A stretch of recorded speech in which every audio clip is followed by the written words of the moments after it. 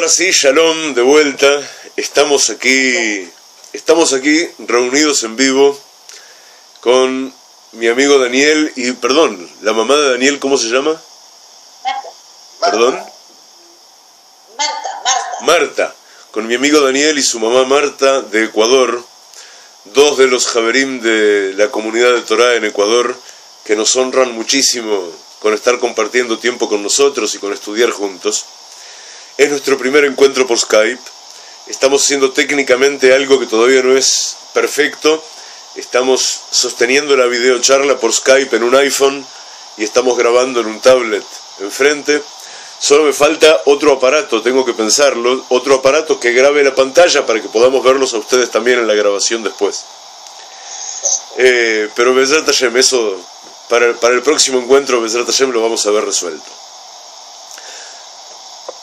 Nuestros Javerim en Ecuador eh, son uno de los tantos casos que Baruch Hashem abundan en la comunidad de Torah, de Javerim que se despertaron proviniendo de otras culturas, de otras religiones, se despertaron Baruch Hashem a la sed de Torah, algo que es privativo de nuestra generación, de la generación de Mashiach, Bezrat Hashem, que Baruch Hashem está pasando por todos lados, y pobre del que no se dé cuenta, y sufren de ese aislamiento que hace a ya no estar en el mundo cristiano y aún no ser aceptados o absorbidos en el mundo judío. Pasa algo, pasa algo muy raro con, con esta circunstancia que viven muchos de nuestros Javerim, sepan ustedes no están solos. Muchas de las comunidades judías aún no, no han empezado en, en un camino de Teshuvah desde que emigraron a los distintos países de América Latina, por ejemplo, y por consiguiente eh, les causa una sensación muy rara adentro, que de repente lleguen ustedes, que todavía no son Yehudim, pero ya a veces saben más Torah que ellos y están más apegados a la Torah que ellos y, buscan cumplir mitzvot y buscan estar junto con Akadosh Baruj Y ellos, muchos de ellos, y especialmente dentro de los dirigentes de ellos, muchas veces no tienen nada que ver con eso. Les queda el nombre de judaísmo y les queda algo de la tradición, pero van en, al Beit Knesset de pronto en Rosh Hashanah, en Yom Kippur, no saben muy bien qué es lo que están diciendo y les sienta muy raro que vengan ustedes y corran el riesgo de que ustedes vengan a enseñarles a ellos cómo ser judíos.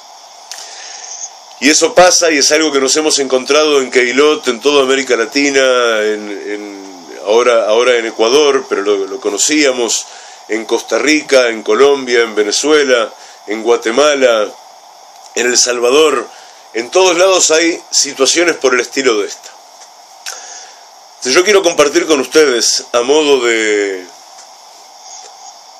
Mirad, dicen los grandes de la Hasidut, dicen los grandes maestros de la Kabbalah, que cuando uno enseña Kabbalah, cuando uno enseña Hasidut, cuando uno enseña la fase interior de la Torah, no hay que enseñar literalmente todo, no hay que dar toda la información de modo literal, porque la palabra Kabbalah mismo quiere decir recepción. El Icar, lo principal en la Kabbalah, y por consiguiente en su mejor vestido para estos días, que es la Hasidut, radica en quién es el que recibe, no qué es lo que recibe. El que recibe tiene que estar sintonizando perfectamente para decodificar lo que recibe. Se dicen nuestros maestros que hay que dar Rashei Prakim, hay que dar títulos de capítulos, representaciones correctas que quien recibe pueda extrapolar, pueda interpretar, pueda deducir de ello la verdad que la Torah viene a querer enseñarle. Entonces, a modo de eso, de Rashei Prakim, de un intento por, eh, por hacer algo en cuanto a esa pregunta que a ustedes les, les duele y que a muchos más de los javerín de la comunidad de Torah duele también, quiero contarles un cuento. Pido perdón por la tos aquí en Israel. Justo acaba de cambiar el clima acabamos de entrar al otoño y yo tengo un reloj biológico que dice que todos los años cuando eso sucede yo me enfermo este, y toso durante unos días y eso le dice a todo el país que de verdad empezó el otoño. Pues ahí estamos. Este, un cuento de algo que sucedió en tiempos del Baal Shem Tov Akadosh, del fundador de la Hasidut, hace algo más de 300 años, y que Rabbi Shlomo Karlebach mucho gustaba de contar este cuento. Y, pero visto que la mayoría de los cuentos que contaba magistralmente Rav Karlebach están disponibles online, pero solo en inglés y en hebreo. Eh, creo que es una buena idea compartir aquellos que hacen la esencia de la Torah que buscamos transmitir, compartirlos en español todos juntos en el seno de la comunidad de Torah. Y no hay mejor inicio para ello que esta charla entre nosotros y este cuento en particular que les voy a contar acerca de alguien a quien vamos a llamar Moishe Leganev, un judío que se llamaba Moshe, le decían Moishele, y lo apordaban Moishele Ganev, porque Ganev en Yiddish, como Ganav en español, quiere decir ladrón. Y nuestro amigo Moishele era un judío simple, que vivía en la aldea de Mejibush, la aldea donde residía el propio Baal Shem Tov, y amaba entrañablemente al Baal Shem porque era, era, era casi imposible estar en la proximidad de él y no amarle un Yehudí que acercaba a todos al cumplimiento de la Torah fundamentalmente con alegría, como dice la Torah mismo que debe ser. Dice, Ibdu et Hashem besimcha, hay que rendir culto a Kadosh Baruj con simcha, con alegría. Y eso significa que si no es con alegría, no estás rindiendo culto a Kadosh Baruj estás rindiendo culto a lo que tú sientes que te falta, a tu propia tristeza, a, los ídolos internos. Pero si uno se apega directamente a Kadosh Baruj solo puede ser con alegría. Ahora, Moishe Leganev no tenía un oficio, o al menos no tenía un oficio decente. Moishe Leganev tenía una mano larga y muy habilidosa, y a la hora de necesitar dinero, a la hora de necesitar hacer su parnasá, pues salía y robaba. Y cada vez que robaba se arrepentía. Pero cada vez que volvía a necesitar dinero, de uno u otro modo, salía y robaba. Dígase a modo de, de alivio, al modo de atenuante para la actividad de Moishe Leganev, que no le robaba a los pobres, sino que le robaba a los ricos. Al menos tenía esa consideración. De todos modos, en Mejibush, eh, que era una ciudad eh, de mucha miseria, era una aldea de mucha miseria, se le llamaba rico a quien, a alguien que tenía algunas monedas de un rublo cada una en el bolsillo, eso ya era un rico. Y los ricos, a diferencia de los pobres en general, cuando les roban, suelen acudir a la policía. Y entonces Moishe Leganev teóricamente podía estar en problemas con la policía. Pero no, Moishe Leganev tenía una patente. Y él no tenía miedo de la policía. Cada vez que robaba, ni bien había completado su robo y tenía el botín consigo, corría al Beit Midrash corría al Beit Knesset, a la sinagoga, a la casa de estudio, donde se encontraba el Baal Shem Tov, corría, iba hasta el rabí, tomaba las manos del rabí y le decía, rabí, rabí, robé otra vez, soy Bey, otra vez caí en la tentación y robé. Por favor, rabí, dame una brajá para que la policía no me encuentre, para que la policía no, no, no me lleve preso. Yo quiero ser un buen yehudí, yo quiero ser un buen hasid. Y el Baal Shem Tov cada vez lo reñía suavemente por haber vuelto a robar. Pero enseguida le daba una braja y le decía, Bezrat Hashem, la policía se va a olvidar de ti, se va a olvidar del caso. Y efectivamente así sucedía cada vez. Entonces Moishe Leganev volvía a sentarse a estudiar Torah en el Beit Midrash. Hasta que otra vez pasaba o que necesitaba dinero, o que se tentaba, o que qué sé yo qué volvía a robar y la historia volvía sobre sí misma de tanto en tanto.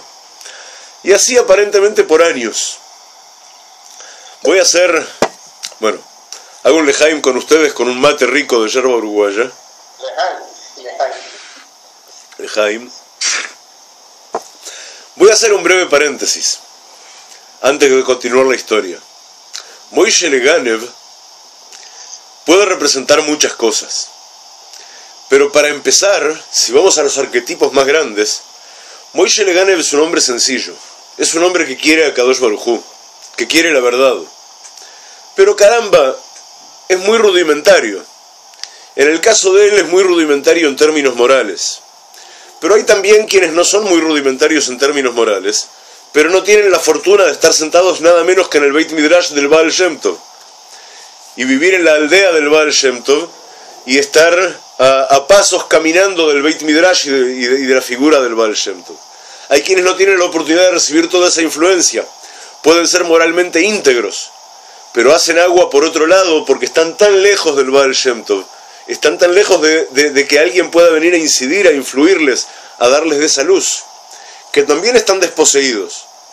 Y eventualmente, si ellos incurrieran en transgresiones paralelas a las de Moishe Leganev, aunque no sean eh, transgresiones morales como las de Moishe Leganev, que sean transgresiones prácticas de la Torá, están exentos de toda culpa en principio porque no tienen al Baal Shem que venga a decirles qué está bien y qué está mal. Cierro el paréntesis. Así seguía la vida en la aldea Mejush. Todos sabían que Moishe Leganev era, era un ladrón. De todos modos, él no solo no le robaba a los pobres, sino solo a los ricos, sino que naturalmente tampoco le robaba a los judíos de Mejibush, que eran muy pocos y se conocían todos y eran amigos y estudiaban todos juntos. ¿Cómo les iba a robar a ellos? Él le robaba a los goim, a los, a, los gentiles que vivían afuera, que de todos modos, si había ricos, eran ellos. Los Yehudim vivían en una miseria espantosa en general en Mejibush. Y así sigue la historia durante un tiempo, y Moishe Diganev se sentía cada vez peor con su condición de ladrón. Pero caramba, no se le ocurría otra idea para hacer Parnasá. Y quería sentarse a estudiar día y noche, a estudiar Torah, a compartir tiempo con su rebe. Pero caramba, había que hacer Parnasá, había que salir a robar. Y tal era su simpleza de corazón, y tal era su deseo de verdad de apegarse a Kodosh Baruj y la Torah, y tal era de alguna manera su, su distorsión moral interna por tanta práctica de lo que no está bien, que en su tfilá Moishe Leganev decía, Riboino Sheloilom, amo del mundo, por favor, yo no quiero seguir robando. Hazme el favor, una vez aunque sea, en vez de mandarme un tipo que tiene siete rublos en el bolsillo y yo le puedo meter la mano en el bolsillo sin que se dé cuenta, mándame una sola vez aunque sea algo, algo serio. Mándame un botín de verdad que con un solo robo ya está, lo hice y me dedico a estudiar Torah y no preciso más nada.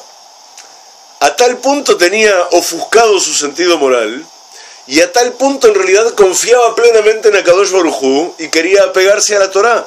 Fijaos qué impresionante la distancia entre una cosa y la otra. Y Moishe Leganev rogaba y rogaba, Riboino lo mandame una sola vez un botín serio. Y así llega un día,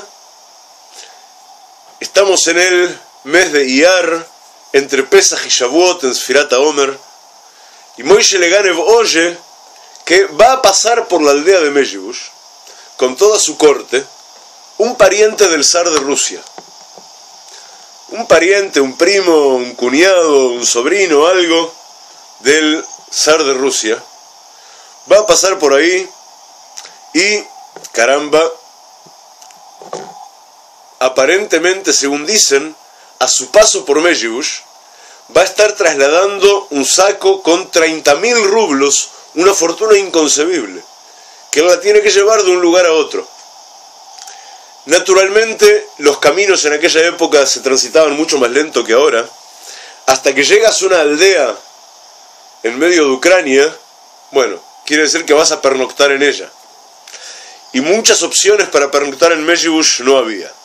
Había probablemente una sola posada, que todos la conocían de memoria. Entonces va a resultar obvio que este hombre va a dormir en esa posada. Moishe de Ganev conoce la posada a la perfección, se informa dónde, en qué, en qué habitación va a dormir este magnate y entonces se prepara. El hombre este va a llegar durante el día de la fiesta de Shavuot y la noche siguiente a la fiesta de Shavuot va a dormir en la posada.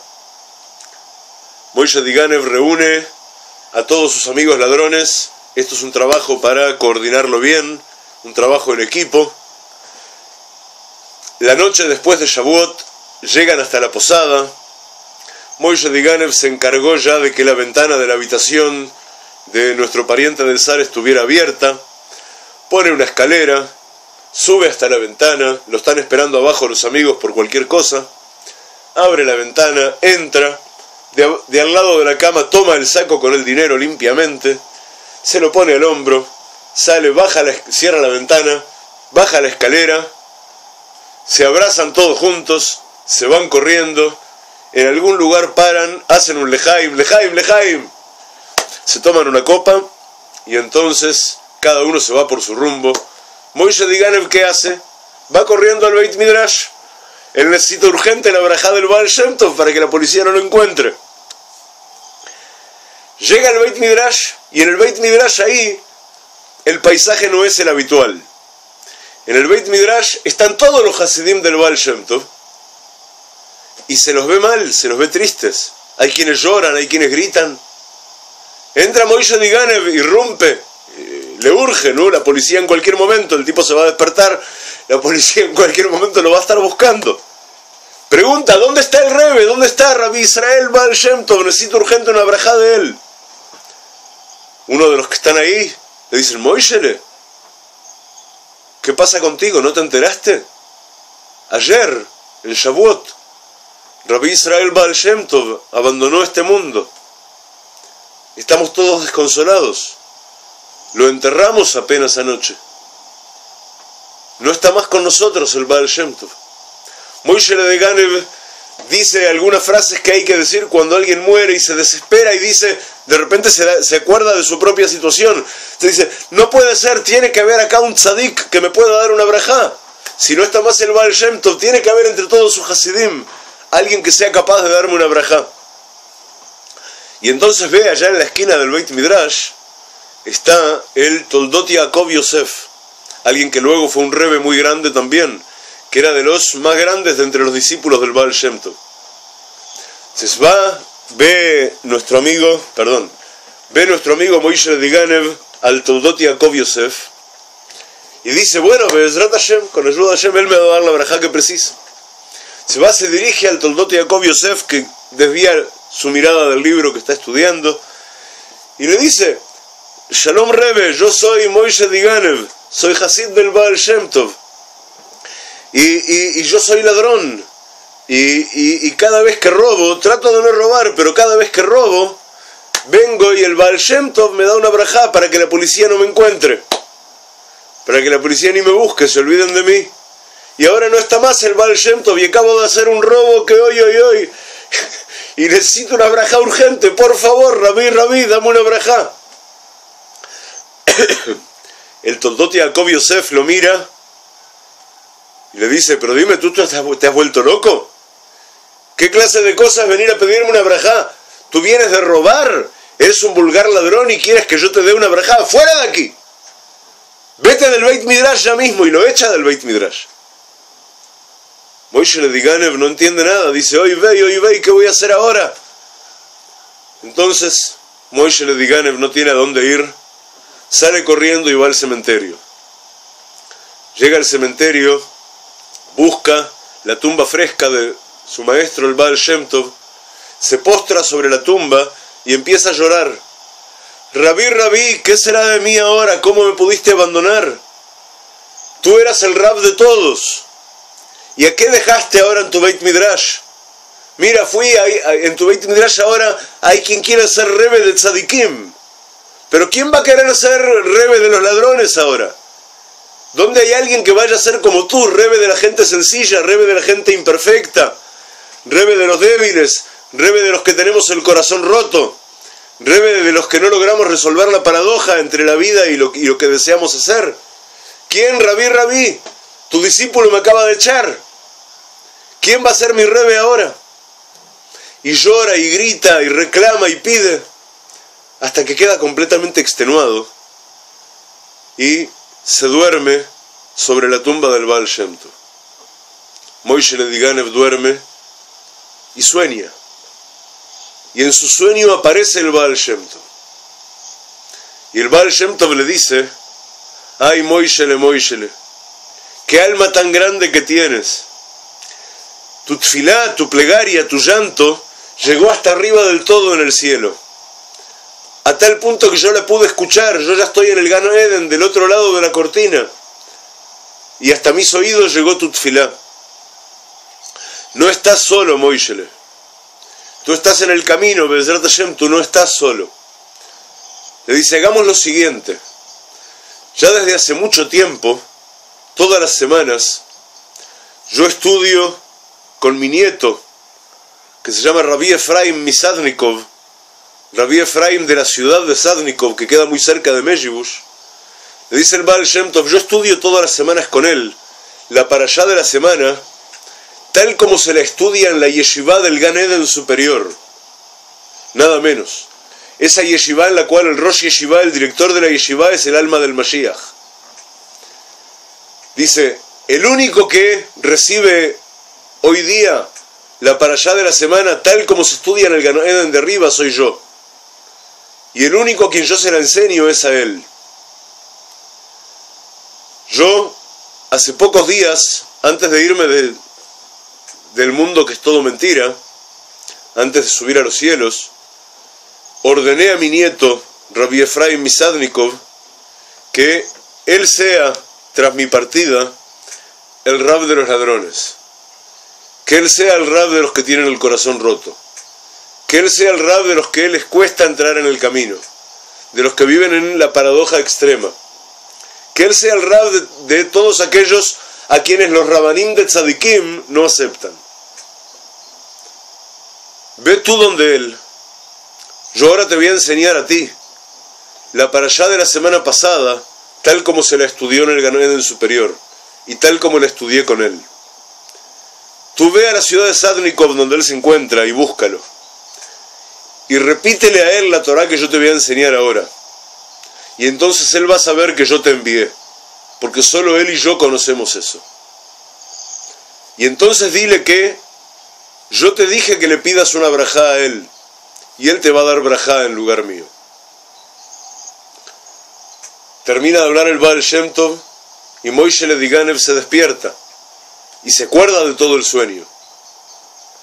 Entonces sale y ya sabe lo que hay que hacer. Va hasta la ciudad de Sadnikov busca a Rabbi Efraim y le dice, tengo que decirte algo de parte del Baal Shem Tov. Rabbi Efraim lo escucha y entonces Moishe Lediganev le repite toda la Torah que aprendió del Baal Shem Tov y al final le dice, Rabbi, Rabbi, he cometido un robo y necesito que me des una brajá para que la policía no me encuentre. Aquí vuelvo a hacer un paréntesis pequeño. Debo reconocer que el texto de la Brajá, tal como lo voy a decir ahora, es una modificación que me permití hacer yo en la versión que escuché en hebreo y en inglés de Rabbi Shlomo Karlebach, e intuyo que la traducción que voy a dar yo es la correcta a partir del cuento con el, cuento original en Yiddish. Cierro paréntesis. Rabbi Efraim lo mira a Moishe Ganev que está implorante, suplicante, esperando su brajá para que la policía no lo encuentre. Y Rabbi Efraim le dice, Moishe Ganev, te doy brajá de que sea olvidada tu condición de ladrón. Hay una diferencia entre la brajá que le daba el Baal Shem Tov y esta brajá. El Baal Shem Tov le daba la brajá inmediata, que la policía no te encuentre que la policía se olvide de ti. Rabbi Efraim le dice que sea olvidada tu condición de ladrón. Y sospecho yo que semejante brajá significa que sea olvidada por la policía, pero también que sea olvidada por ti mismo. Que tú olvides que eras un ladrón. La historia se completa. La historia se completa con muchas cosas. Se completa primero con la reflexión de que hay tzadikim tzadikim bajos, tzadikim básicos que solamente pueden ser rebeim de otros tzadikim, lo cual parece ser muy fácil, y un tzadik de verdad, un rebe de verdad, es aquel que puede ser rebe también de ladrones, rebe también de quien, ya sea en el caso de, de Moishe Lediganev, tienen un problema moral, o de quien tiene una faltante de cualquier otro tipo, sea por su propia culpa o sea por porque no, sea porque así sucedió, porque así quiso Hashem. Pero la historia se completa con que en realidad Moishe Lediganev de verdad se enfrentó a un dilema absolutamente extremo. Aparte de recibir esta brajá, o al tiempo en sincronía con recibir esta brajá, Moishe Lediganev acababa de ser el segundo hombre vivo en su generación que aprendía Torah tal como se la estudia en Ganeden. Y eso ya es demasiado. Vivir rodeado de Hasidim, vaya y pase todavía para Moishe Lediganev. Estar cerca del Baal Shem Tov todavía vaya y pase. Pero recibir desde el mundo por venir una revelación de la Torah tal como se la estudia en la yeshiva del Ganel superior, eso es demasiado, no se puede recibir eso y seguir robando. Moishe Lediganev de modo, de modo natural ahora tiene la fuerza y la herramienta para superar la paradoja. Y Moishe Lediganev no solo no volvió a robar, sino que además se convirtió en uno de los Hasidim y los Talmidei Jajamim, los sabios más grandes de su generación, y fue uno de los rebes que continuaron con la doctrina del Baal Shem Tov, y naturalmente por respeto a su pasado, no llegó hasta nosotros cuál es su nombre verdadero.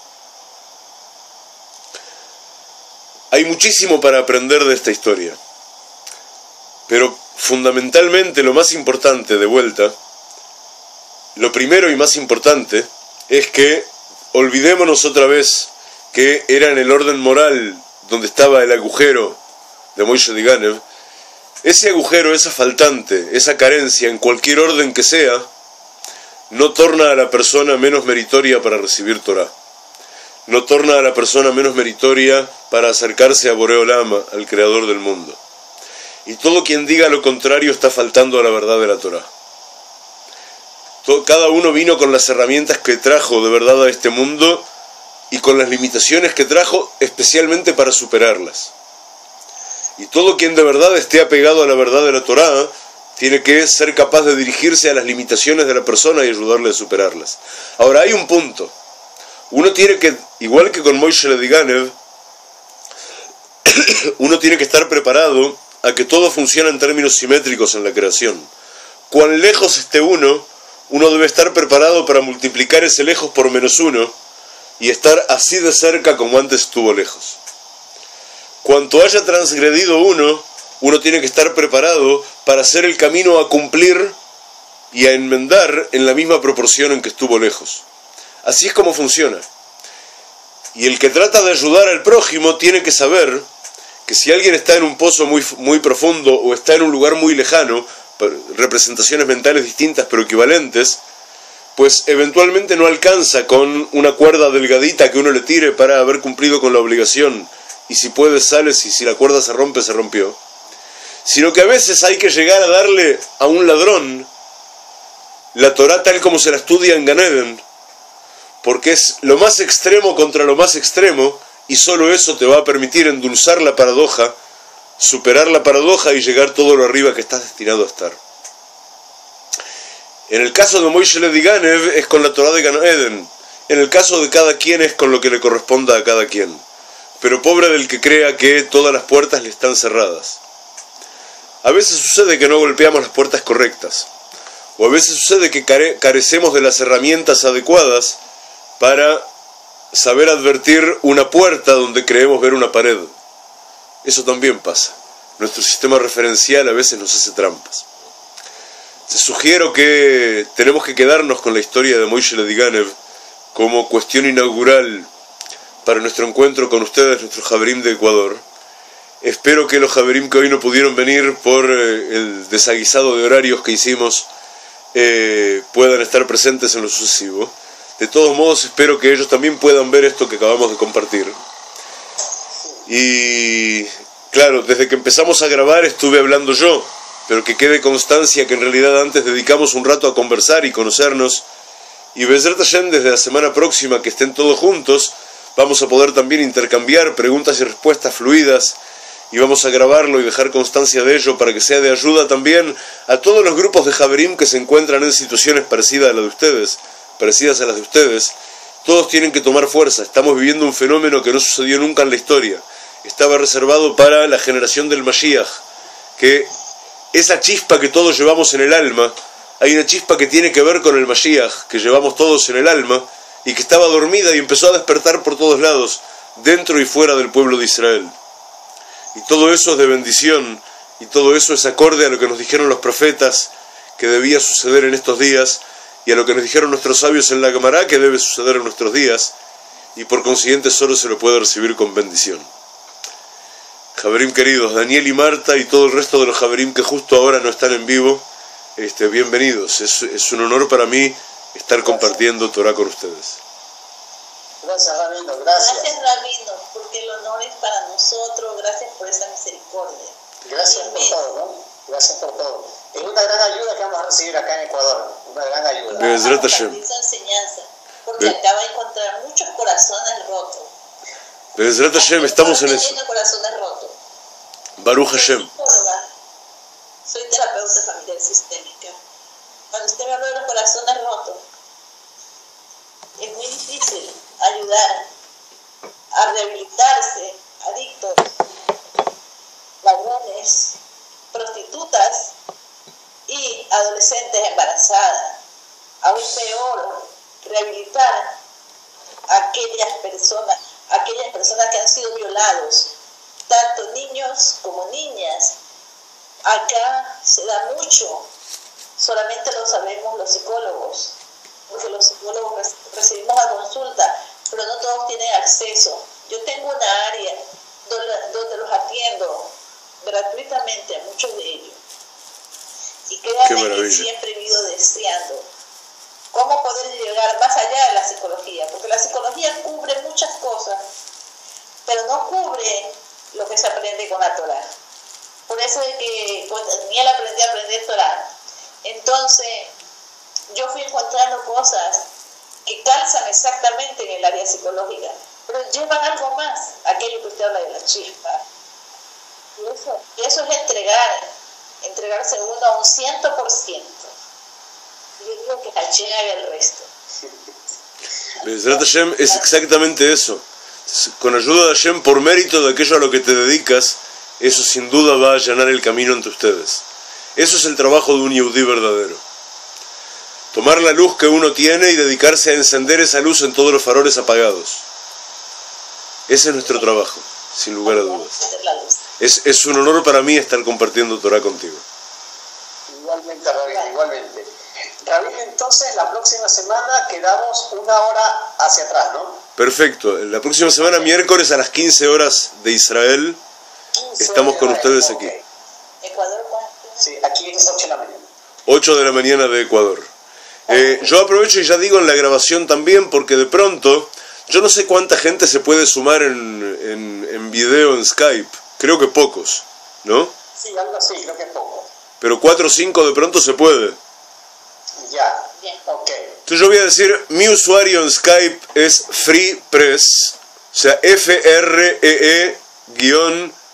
F-R-E-E-P-R-E-S-S, como si fuera prensa libre. Es un usuario que creé en los primeros tiempos de Skype, cuando entre otras cosas tenía una- dirigía una agencia de noticias con ese nombre. Este, hace muchos años. Eh, de modo que sugiero, Javerim, que estén en lugares cercanos a Ecuador, o de pronto en otros Javerim que están mismo en Ecuador también, que quieran sumarse a este encuentro nuestro en Skype de los miércoles a las 8 de la mañana hora de Ecuador, a las 15 horas de Israel. Mientras quepan y sean sumables, son bienvenidos. Los demás, Bezrat Hashem, lo van a tener grabado. Si hay suficientes Javerim que se anotan y van a querer hacerlo, podemos simultáneamente transmitir en vivo por nuestro canal de Kik. También, que no tiene límite, aunque no es... Los que están en Kik no pueden hablar al mismo tiempo con nosotros, pero pueden estar en vivo y poner preguntas en un chat, por ejemplo. De modo que todo lo que está en nuestras manos hacer para compartir Torah, para compartir, para generar lo que, lo que traté de decir cuando escribí hace algunas semanas, cuando los invité a todos a unirse a los grupos de WhatsApp. Tenemos herramientas tecnológicas como para generar, incluso entre quienes están aislados de toda comunidad judía y aislados entre sí, incluso de otros Javerim casi, podemos generar una experiencia de vida comunitaria con el crecimiento en Torah. Podemos hacer como si estuviéramos mucho más cerca, mucho más próximos geográficamente, y compartir la experiencia cotidiana de Torah. Aprovechando Skype, WhatsApp, Facebook, todas las herramientas que tenemos a mano, estar de algún modo en línea, estar de algún modo en, tiempo real o en tiempo más o menos real, compartiendo Torah y compartiendo la experiencia de vivir como Yehudim, o quienes así lo prefieren como Bnei Noach. Este, nosotros la verdad lo único que necesitamos y parece que es un dictamen de Kadosh Barujú que así sea, necesitamos que los Jabrim que se suman a esto de alguna manera nos ayuden a seguir adelante, porque la situación económica nuestra es, una catástrofe absoluta, un derrumbe, este, y no pensamos cejar de hacer lo que hacemos con alegría, está todo en manos de Hashem, eh, pero parece que Hashem quiere que funcionemos como una comunidad y no quiere que sin comprar billetes de lotería me gane la lotería, sino que prefiere que podamos seguir viviendo humildemente, pero trabajando todos juntos, también en el sostén de la labor que hacemos. Yo la verdad, Baruch Hashem, dedico 10, 12 horas por día a las cuestiones relativas a la comunidad de Torah y el resto del tiempo a estudiar para estar a la altura de ello. Este, de modo que no puedo hacer otra cosa que aspirar a que los Jabrim también sean partícipes de lo que cuesta esta conexión a internet o el tablet por el que estamos conversando o, o, hasta la yerba para el mate, ¿qué voy a hacer? No, no me dedico a ninguna otra actividad profana para privilegiar lo que hacemos aquí. De modo que dejo eso, dejo eso sobre la mesa. Este, la Torah no se vende de modo que nosotros no cobramos y tampoco ponemos montos de nada. Solo estamos seguros que todo aquel que haga un esfuerzo, por más mínimo que sea, ese esfuerzo va a tener tanta braja que se va a reproducir solo hasta el nivel de lo que necesitamos para seguir adelante viviendo con modestia y humildad y cumpliendo con lo que nos propusimos hace muchos años ya y que lo hacemos cada día con amor. Javerim, a ustedes muchísimas gracias por, por esta iniciativa, Daniel. Va la invitación a todos los demás que empezaron con iniciativas así. Hay varios grupos más que, que nos propusieron hacer algo como esto en los últimos meses y que por alguna u otra razón parecen haber quedado sobre la marcha. Este, es más, les pido a ustedes que antes de que cortemos, que ustedes le den brajá a todos los otros grupos que se están proponiendo lo mismo y quedaron en puntos suspensivos, que ustedes les den ánimo, porque estoy seguro que así es como de verdad vamos a crecer mucho mejor. Vamos a poder reunirnos en vivo con grupos pequeños y de alguna manera generar esta experiencia de compartir juntos y cada uno va a poder traer sus preguntas y, sus cuestionamientos y demás y es el modo de crecer juntos. Así que por favor, la braja de ustedes. Igualmente, Rabino. Shalom. Shalom, Rabino. Shalom y braja. Shalom y braja. Un abrazo y braja también para todos los Javerim en Ecuador y alrededores. Coltu. Shalom, shalom. Gracias, Rabino. Gracias. Por favor. Shalom. Shalom.